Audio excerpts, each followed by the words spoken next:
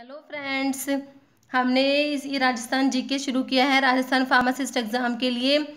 हमने इसका कल एक पार्ट डिस्कस किया था थर्टी क्वेश्चंस डिस्कस किए थे।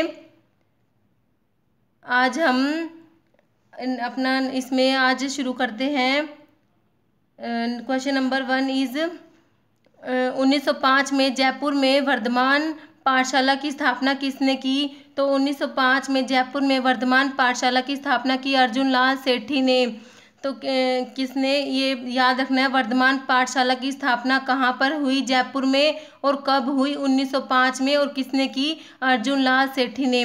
तो क्वेश्चन ऐसे घुम अभी तो ऐसे पूछा है कि किसने की? जय, अर्जुन लाल सेठी ने ऐसे भी पूछ सकते हैं, कब हुई? तो 1905 में हुई, याद रखना है। 1905 में जयपुर में और अर्जुन लाल सेठी ने वर्धमान पाठशाला की स्थापना की। Next is UNESCO UNESCO world heritage में कौन सा सम्मिलित है? तो ये क्वेश्चन था, ये कल भी डिस्कस किया था, ये तो ये ऐसे क्वेश्चन रिपीट होते हैं। जंतर मंतर वैधशाला है, ये यूनेस्को की वर्ल्ड हेरिटेज में ये शामिल है। नेक्स्ट है, लोक नाट्य, ऐसे ऐसे था, चार ऑप्शन थे, इनमें से कौन सा है जो लोक नाट्य नहीं है? तो उसका था डाडी, डी, डाडी लोक नाट्य नहीं है। और ये ख्याल, रम्मत, सवांग, ये सब क्या है? लोक नाट्य है। ख्याल, जैसे ये कुचामनी ख्याल है, ये सब ख्याल है, तुर्रा कुलंगी ख्याल है, अली बख्शी ख्याल है, और रम्मत रम्मत जैसलमेर और बीकानेर की फ़ेमस है रम्मत, और जो स्वांग है, स्वांग में जैसे किसी का भी, जैसे गाँव में होता है ना, जैसे कोई भी हनुमान जी का कोई भी एक एक जो, एक व्यक्ति होता है कि, किसी का भी कोई धार्मिक या किसी का भी रूप लेके उसका अभिनय करता है तो जैसे हनुमान जी का रूप, जैसे कपड़े पहन के और फिर वो उनका, उनकी तरह करते हैं फिर शिव जी का तो इसमें स्वांग में जो जो व्यक्ति होता है, एक ही व्यक्ति होता है और वो जो स्वांग करता है उसे बहरूपिया कहते हैं और जो राजस्थान के जान की लाल भांड है, उन्होंने स्वांग जो ये लोकनाट्य है, इसको विश्व में प्रसिद्धि दिलाई। नेक्स्ट क्वेश्चन क्या है? तत्वाद्य।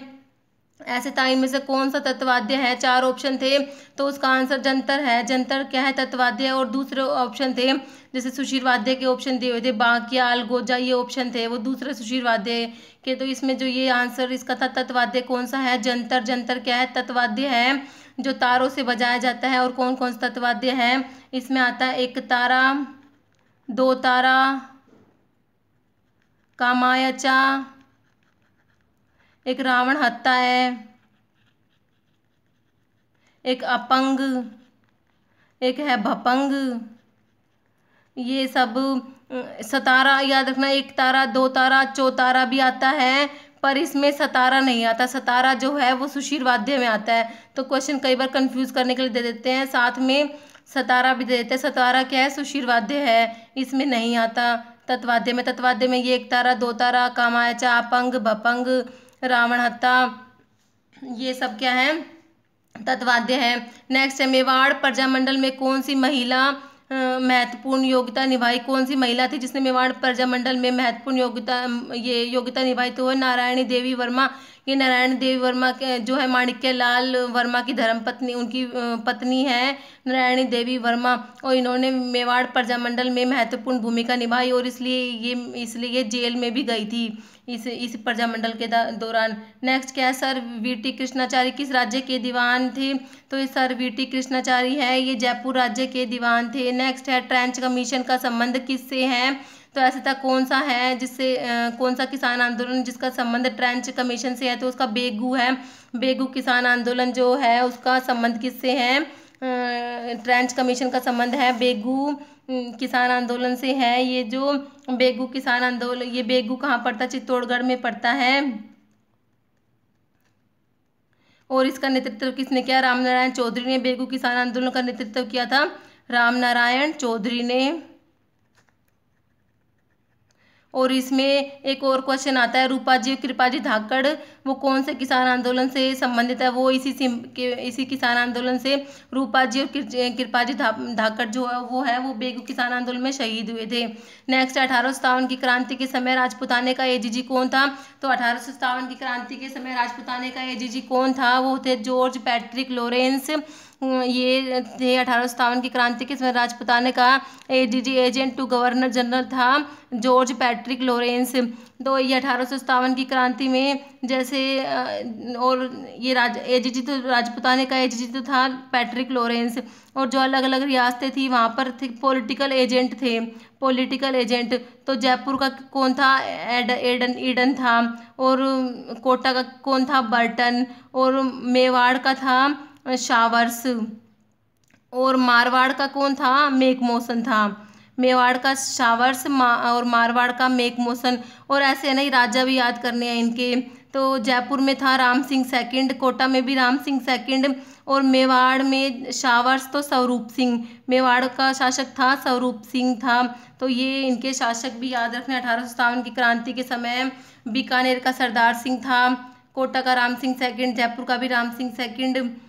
करौली का मदन पाल, ये सब शासक भी याद करने अठारह सौ सत्तावन की क्रांति के समय कौन कौन शासक थे, ये भी कई बार पूछ लेते हैं। नेक्स्ट है, हल्दी घाटी के युद्ध से पूर्व महाराणा प्रताप को समझाने के लिए कौन गया था तो इस कथा Mir Jalal Khan. Next question is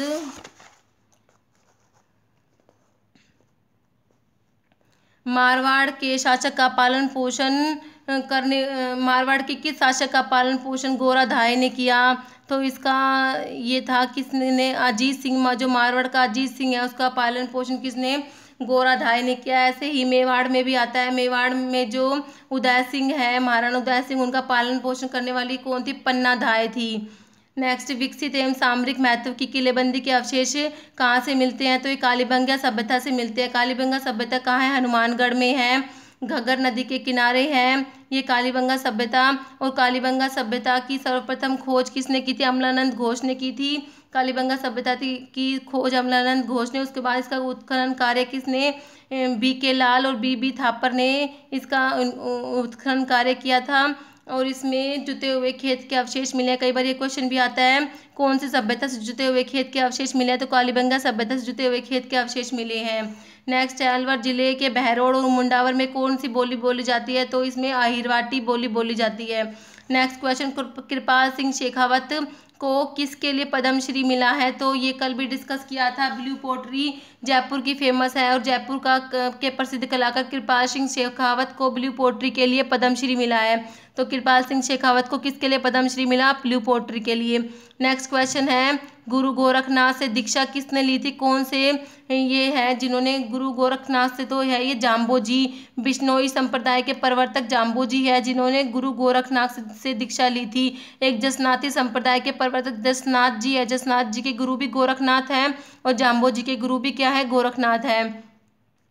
और ये जाम्बू जी का जन्म कब हुआ था? चौदह में फोर्टीन फिफ्टीन वन में हुआ था। इनका नागौर के पीपासर में, नागौर के पीपासर में।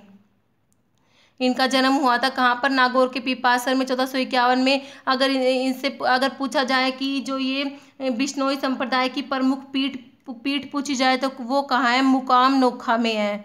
मुकाम नोखा बीकानेर में है। बिश्नोई संप्रदाय की प्रधान पीठ कहाँ है?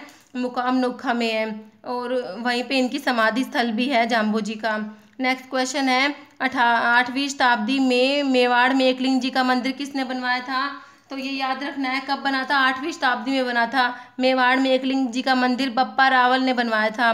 बप्पा रावल का जो नाम है मूल नाम तो काल भोज है था। बप्पा ना, इनका नाम क्या था? काल भोज और बप्पा जो है वो इनकी उपाधि है। तो बप्पा रावल का नाम काल भोज और इन्होंने मेवाड़ मेवाड़ में कैलाशपुरी में कहाँ पर? कैलाशपुरी में।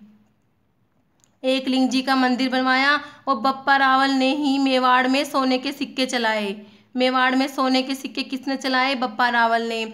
और मौर्य शासक मान मौर्य से इन्होंने चित्तौड़गढ़ दुर्ग जीता था। किससे मौर्य शासक मान मौर्य से चित्तौड़गढ़ दुर्ग जीता था। इन्होंने चित्तौड़गढ़, उनको हराकर चित्तौड़गढ़ दुर्ग पर अधिकार किया था। किसने? बप्पा रावल। ने तो बप्पा रावल के बारे में ये तीन, चार बातें याद रखनी है। इन्होंने कैलाशपुरी में एक लिंग जी का मंदिर बनवाया, मेवाड़ में सोने के सिक्के चलाए और मौर्य शासक मान मौर्य को हराकर चित्तौड़गढ़ दुर्ग पर अधिकार कर लिया। नेक्स्ट क्वेश्चन है, और इनका वास्तविक नाम क्या था? काल भोज और बप्पा इनकी उपाधि थी। नेक्स्ट क्वेश्चन है, राजस्थान में सदाबहार वन कहाँ मिलते हैं? ये माउंट आबू में मिलते हैं। नेक्स्ट क्वेश्चन था, जो थार एक्सप्रेस है, वो मुनाबाव से कहाँ पर तक जाती है तो ये मुनाबाव से खोखरापार जो पाकिस्तान में वहाँ तक जाती है, मुनाबाव कहाँ है? बाड़मेर में है। नेक्स्ट क्वेश्चन है, मंकी वैली किसे कहते हैं? मंकी वैली जो गलता जी है, उसको मंकी वैली कहते हैं। यहाँ पर बहुत ज़्यादा अधिक बंदर की वजह से इसे मंकी वैली कहते हैं, और ये कहाँ? जयपुर में है। नेक्स्ट क्वेश्चन है, बारह सितंबर को जो वृक्ष महोत्सव लगता है, वो कहाँ पर लगता है? वो लगता है खेजड़ली जोधपुर में लगता है ये। सॉरी, ये जो वृक्ष महोत्सव है, कब लगता है? बारह सितंबर को खेजड़ली जोधपुर में लगता है। और ये भाद्रपद शुक्ल दशमी को लगता है। भाद्रपद शुक्ल दशमी को खेजड़ली जोधपुर में वृक्ष महोत्सव लगता है। और भाद्रपद शुक्ल दशमी को तेजा जी का मेला भी लगता है। भाद्रपद शुक्ल दशमी को तेजा जी का मेला भी लगता है। और ये वृक्ष महोत्सव है, ये भी उसी दिन लगता है। और ये बारह सितंबर को लगता है। खेजड़ली जोधपुर में। नेक्स्ट है सर्वाधिक प्रतिभूमि कहाँ पर है? जोधपुर में है। सर्वाधिक प्रतिभूमि कहाँ पर है? जोधपुर में। नेक्स्ट इज़ शुष्क पश्चिमी कृषि जलवायु क्षेत्र के अंडर कौन सा जिला आता है? तो उसमें बीकानेर आता है। शुष्क पश्चिमी कृषि जलवायु क्षेत्र में नेक्स्ट क्वेश्चन नेक्स्ट क्या है? कुल स्थलीय सीमा, कुल स्थलीय सीमा कितनी है? वो है पाँच हज़ार नौ सौ बीस किलोमीटर है, जो राजस्थान की कुल स्थलीय सीमा है। पाँच हज़ार नौ सौ बीस किलोमीटर है और इसमें से जो एक हज़ार सत्तर किलोमीटर है, वो ये क्या पाकिस्तान के साथ रेड क्लिफ रेड क्लिफ रेखा बनाती है। जो एक हज़ार सत्तर है, वो अंतर्राष्ट्रीय सीमा है।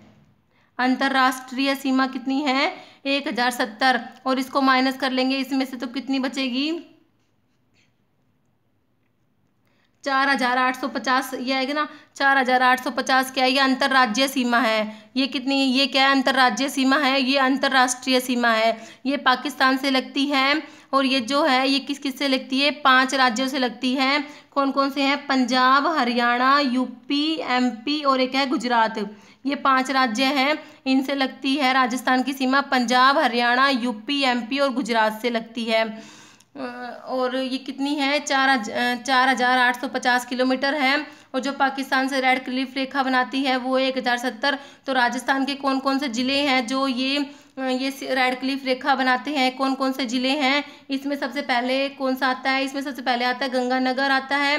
उसके बाद आता है जैसलमेर, बाड़मेर और बीकानेर। कौन कौन से हैं? गंगानगर, जैसलमेर, बाड़मेर, बीकानेर। ये राजस्थान के चार ज़िले हैं जो पाकिस्तान के साथ सॉरी पाकिस्तान के साथ अंतर्राष्ट्रीय सीमा बनाते हैं। कौन कौन से हैं? गंगानगर जैसलमेर, बाड़मेर और बीकानेर। इनमें सबसे ज़्यादा सीमा बनाता है जैसलमेर की। है सबसे ज़्यादा सीमा किसकी लगती है? जैसलमेर की लगती है। और सबसे कम सीमा किसकी लगती है? बीकानेर की लगती है। सबसे ज़्यादा लगेगी जैसलमेर की। सबसे कम किसकी? बीकानेर की लगती है। सबसे ज़्यादा किसकी लगती है? सबसे ज़्यादा है जैसलमेर की कितनी है? चार सौ चौंसठ किलोमीटर है। जैसलमेर की कितनी है? चार सौ चौंसठ किलोमीटर है। सबसे कम बीकानेर की है एक सौ अड़सठ किलोमीटर। किसकी? बीकानेर की। तो याद रखना है, जैसलमेर की सबसे ज़्यादा चार सौ चौंसठ और है, बीकानेर की सबसे कम एक सौ अड़सठ किलोमीटर है। तो ये कुल स्थलीय सीमा का कितना है? पाँच हज़ार नौ सौ बीस किलोमीटर। नेक्स्ट है हाँ ये नेक्स्ट फिर यही क्वेश्चन है, कितने राज्यों की सीमा राजस्थान से लगती है? तो कितने राज्य पाँच राज्यों की सीमा राजस्थान से लगती है, पंजाब, हरियाणा, यूपी, एमपी और गुजरात। नेक्स्ट है सदावाहिनी नदी, कौन सी है? सदावाहिनी नदी है चंबल।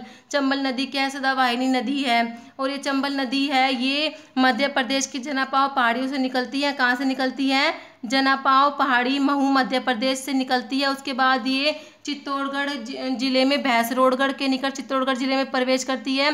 चित्तौड़गढ़ के बाद ये कोटा, बूंदी, सवाई माधोपुर करौली और धौलपुर से होती हुई यूपी में जाके फिर ये यमुना में मिल जाती है। तो किन किन जिलों से गुजरती है? छह जिलों से गुजरती है ये। कौन कौन से? चित्तौड़गढ़, फिर कोटा, बूंदी, सवाई माधोपुर करौली और धौलपुर। नेक्स्ट है, केंद्रीय भेड़ एवं ऊन अनुसंधान केंद्र कहाँ पर है? अभिकानगर टोंक में है ये। क्या है? केंद्रीय भेड़ एवं ऊन अनुसंधान केंद्र कहाँ है? अंबिकानगर टोंक में। नेक्स्ट क्वेश्चन है गार्नेट के भंडार कहाँ पाए जाते हैं? टोंक में पाए जाते हैं गार्नेट के भंडार। नेक्स्ट क्वेश्चन है अंत प्रवाही नदी कौन सी नहीं है? ये पूछा हुआ था, कौन सी नदी अंत प्रवाही नहीं है? तो ये चार ऑप्शन थे, कांत, कांकनी, कांतली, साबी और सागी। तो इसका आंसर क्या है? सागी अंत प्रवाही नहीं है। तो कौन कौन सी अंत प्रवाही ये कांकनी है, कांतली है, साबी है, और कौन सी है जो अंत प्रवाही है? और है घग्गर मेंथा रूपारेल और रूपनगर। ये ये भी क्या है? अंत प्रवाही नदियाँ हैं घग्गर मेंथा रूपारेल रूपनगर, कांकनी, कांतली और साबी, ये सारी क्या अंत प्रवाही नदियाँ हैं? नेक्स्ट क्वेश्चन है, पार्वती सिंचाई परियोजना से कौन सा जिला लाभप्रद है? तो धौलपुर है वहाँ की है, ये पार्वती सिंचाई परियोजना। नेक्स्ट क्वेश्चन है, शुष्कतम, सबसे शुष्क जिला कौन सा है? जैसलमेर। जैसलमेर क्या है? सबसे शुष्क जिला है जैसलमेर और सबसे बड़ा जिला अभी क्षेत्रफल की दृष्टि से राजस्थान का सबसे बड़ा जिला कौन सा है? जैसलमेर है। तो बड़े जिलों का ऐसे याद रखना है। J B B J Jaisalmer, Barmer, Bikaner, Jodhpur, ये क्या है? बड़े ज़िले हैं राजस्थान के। और अगर इनका क्षेत्रफल याद रखें तो कई बार है ना, आरोही और अवरोही क्रम पूछ लेते हैं। तो अड़तीस, अट्ठाईस, सत्ताईस, बाईस याद रखना है। अड़तीस, अट्ठाईस, सत्ताईस, बाईस, ज़्यादा नहीं, अंदर अंदर तक याद करना मतलब ऊपर ऊपर से भी याद कर लेंगे ना तो भी काम चल जाता है। अड़तीस अट्ठाईस, सत्ताईस, बाईस याद रखना है। जैसलमेर, बाढ़, इन हाँ जैसलमेर, फिर बाड़मेर, फिर बीकानेर, फिर है जोधपुर। क्या है? जैसलमेर, बाड़मेर जैसलमेर, बाड़मेर, बीकानेर और जोधपुर। इनका क्षेत्रफल है अड़तीस अड़तीस हज़ार कुछ है, अड़तीस हज़ार चार सौ समथिंग है। तो मतलब हम सिर्फ़ ये भी याद रखेंगे ना, अड़तीस हज़ार तो भी काम चल जाएगा। अड़तीस, अट्ठाईस सताईस बाईस ऐसे याद रखना है। सबसे ज़्यादा किसका है? जैसलमेर का, उसके बाद बाड़मेर, उसके बाद बीकानेर उसके बाद जोधपुर। कई बार ना अवरोही और आरोही क्रम भी पूछ लेते हैं तो इसलिए हमें याद रखना पड़ता है। और छोटे पूछे तो सबसे छोटा जिला कौन सा है? धौलपुर है। सबसे छोटा कौन सा है? धौलपुर है। और उसके बाद पूछे तो दौसा। पहले सबसे छोटा है धौलपुर, और उसके बाद, धौलपुर के बाद पूछे थे दौसा। तो धौलपुर का है तीस, चौंतीस, और इसका चौंतीस, बत्तीस। ये ऐसे याद रखना है। तीस, चौंतीस चौंतीस, बत्तीस। इसका तीस, चौंतीस वर्ग किलोमीटर है इसका चौंतीस, बत्तीस वर्ग किलोमीटर है। इनमें भी कई बार आरोही, अवरोही क्रम आ जाते हैं तो अगर हमें एक, दो का भी याद होना तो हमारा आंसर निकल के आ जाता है। तो ये हो गया हाँ जैसलमेर का हो गया सबसे शुष्क शुष्क जिला है जैसलमेर और वर्षा की सबसे अधिक विषमता भी यहीं पे जैसलमेर में ही है और जनसंख्या घनत्व भी इसका ही सबसे कम है किसका? जैसलमेर का।